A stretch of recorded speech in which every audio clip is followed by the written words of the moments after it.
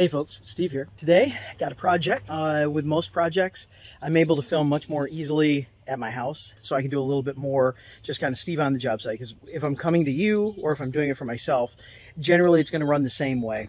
And so, kind of job site workflow. Let's see what we've got here. All right, so this is my front walk. And with my front walk, I have had it trenched out and I had a pad put in. I need to put that brick back. So this is my original brick walk. These are all bricks that we found on site back when we moved in in 2005. We were able to repurpose uh, just about all of them. Some of them are in, are in pretty good, pretty bad shape. You know, I can make them work. Basically just reconstructing the walk. And when I deconstructed it, that's exactly how it should go. So I know that it's going to fit back in this space. Workflow. As I assembled a list of tools, that I needed. And so I made that list and then I ran around back with my truck, started collecting tools. Some I just ran around the house in the wheelbarrow. I, when I kind of pulled into my own house, I surveilled how I want to do this. And how I want to do this is I believe I'm going to set up my tile saw right in here. I have my tile tools. I'm going to fill those buckets with water because I have water right around the corner there. I have a hose that I'll hook up today for the first time this season. I have tools ready to go to mix the mortar. I have a broom to sweep off the walk and get that prepped. I also have in my truck the hose I'm going to blow the thing off. I've got my knee pads and I do have hearing protection, my belt with the tape and chalk line and all that kind of stuff. That's effectively it. My tile saw is just simply over on my porch at the moment. So this is me kind of surveilling and figuring out what my workflow on this process will be. Um, I'll do all of my cuts that way. Uh, I grab the brick from there and I'm doing the work right in the middle. So I think that should be uh, a fairly good workflow. I don't have to cut those brick that are existing. Intermixed with that, I have obviously you see some bricks that are not the same thickness, but we use them. And because I was using a sand base uh, for my original, I could do that. You know, I could make that work. But I'm going to have to shim this, this, that. I'm not a mason. I kind of generally get the idea. I've done this before. Now I do tile, but in tile, I'm it's a different set of problems. So I just have some extra brick there, and that brick is what I'm actually going to use on the tile saw, and I will basically create shims out of that. Uh, so uh, uh, with the mortar and with those as shims, I should be able to establish enough of a secure bed to get those thinner brick up to the level that I need. And then I should have a level, or at least a flat application. I'm not so concerned with level, I am concerned with flat. Swept, blew the thing off, so I know I'm dealing with, you know, pretty much a clean slate here. The weather looks good, so I'm, I'm okay there. Pulled, pulled my layouts, found center back there, transferred that line up to here, made sure everything looked right when I stepped back, you know, is it actually looking square with everything, because this pad is not perfectly square. Got my two layout lines, center line, offset line, should be ready to go started making shims using uh, some bricks that I had on hand. Uh, one thing I discovered is uh, just a restriction on the depth at which my tile saw can cut. And I was thinking because it's cutting brick, brick is uh, traditionally softer than porcelain tile. However, not my experience that that thing right there, that wonderful Kobalt, that's not the one to cut uh, brick, at least not a lot of it. I managed to cut those uh, one brick, half inch shims, started into this brick, just didn't work well.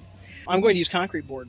Uh, it's you know it's waterproof. It's not going to go anywhere. It's very little expansion contraction. So I'm just going to cut that into brick size pieces. It's a half inch thick, which is the ideal thickness I need in order to mortar and everything else. So I think that's going to be a viable alternative. If, it, if I screw it up, at least it's mine and I'll learn not to do that again. Otherwise, it is now shim time, creating a bunch of shims. So when I mix mortar, I can just start running and gunning and laying tile, uh, laying brick. Workflow is going well. It's just right tools, right job, right application. I'm figuring this out as I go. Having a good time doing it. Beautiful day to do it. Let's, let's make some shims. Okay, so the process seems to be working. There are all my pieces down there. Then what I've done is I've laid out my grid, so I have a lot of half blocks. And I have a lot of those, and I want to make sure that I don't run out, because once I start mixing mortar and start setting down, I really don't want to stop, except for mixing more mortar. I'll start with a half a bag and see how far that gets me. I'll be using a quarter inch trowel, and we'll, we'll see. We will see. Tile tools. But today I'm going to use a quarter inch trowel and I'm going to have that solid trowel there. I have a scoop. I'm going to mix my mortar up in there. I'm going to do a half bag starting out and I'll be hand mixing it with a hoe and I'll be actually laying it down with a shovel. Not a mason, but I play one on TV. we'll see how this goes. Uh, it's a, I'm winging this one here and uh, I'm hoping I'm winging it correctly.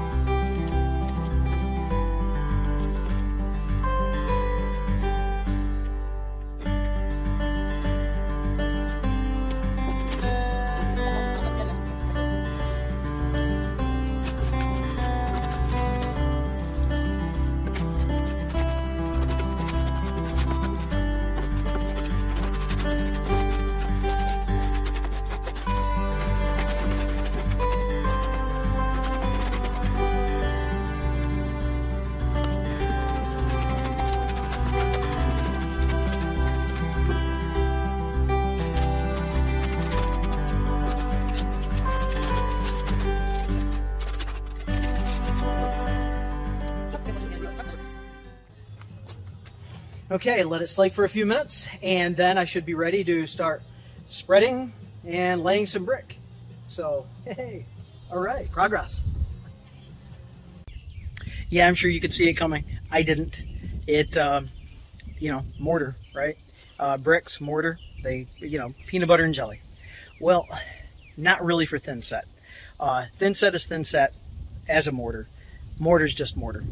So, um, round two, uh, the mortar didn't work. It was not adhering. Ran down to my local uh, hardware store, talked with them about the problem, and they said, oh, yeah, yeah. And I did some research before that, and I said, well, look, modified thin set that is appropriate for exterior. Thin set it is, and I got out my drill paddle bit there, and I will mix in a bucket this time, and I will start uh, troweling this down, and this should do a little bit better. I have, this has been a very casual day. I haven't been, it's, it's, it's all good.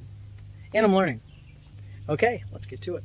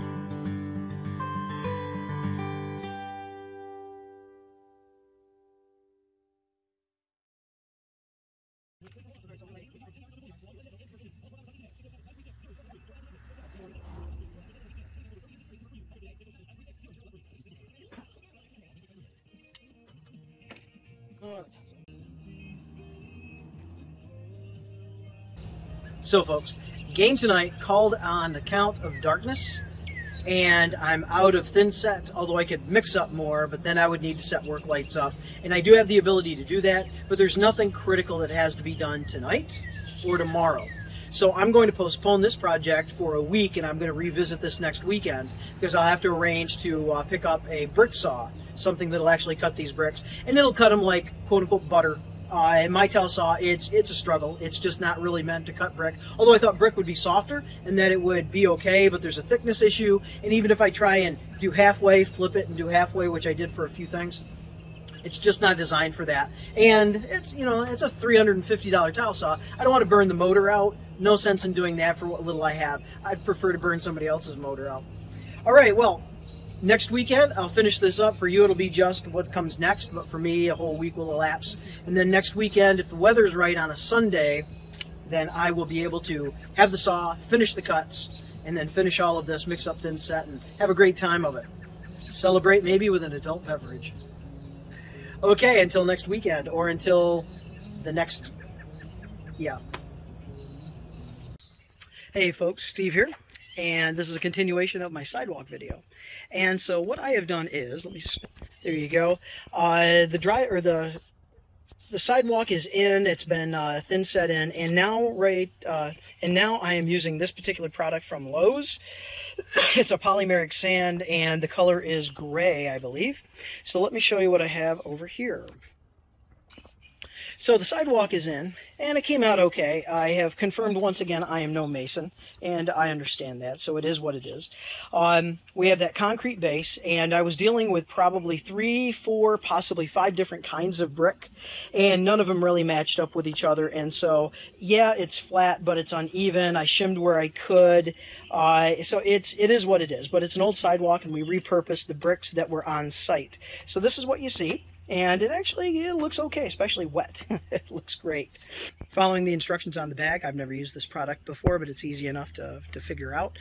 And so I need to wet it again here in just a moment, and then wet it again after that, um, and just to get that water soaked in and allow the sand itself to uh, bond. And then, hopefully, we're done. Then it's just mulching and, and being done. So anyway, there you go. So I'll wet this thing again. Hey folks, here we are at the end of the year, and end of the season I should say. It's uh, late fall, mid-fall, and I forgot or I lost the footage for the end of the sidewalk project. And so I'm going to just shoot, hey, here's what it looks like when it's done, just to give you kind of a capstone for this particular project. It was fun. I certainly learned. I'm not a mason. And I don't think I'm going to be one anytime soon. But in the end, for me, uh, we didn't have to cut too many corners as far as you know what we'd accept as for quality, but you know I wouldn't ask anybody to pay me for this one. All right, hey, here you go. Check this out. All right, so there you go. There's the sidewalk finished. I have the poly polymeric sand in there, really firmed up nicely. It's holding all the bricks, and that should be a permanent application. Uh, this side of you know mortar or grout or anything like that. Uh, so there we go and you can see really really did well. We're very very happy with exactly how this turned out. And it should not move after this. And we have a little bit of a fall thing because we have a graduation party that we're hosting today. And wow you know just really nice. Complements all of this uh, beautiful landscaping my wife is uh, responsible for. And really really just sets everything off and cements the idea in that it's, it's an old house Thank you for sticking with me for the uh, sidewalk project. Hope you enjoyed it. I don't think you learned anything other than, Spence, we knew you're not a Mason, but now you've confirmed it. And I did. but anyway, you take care. Have whatever it is you're having. I hope it's a good one. You all take care.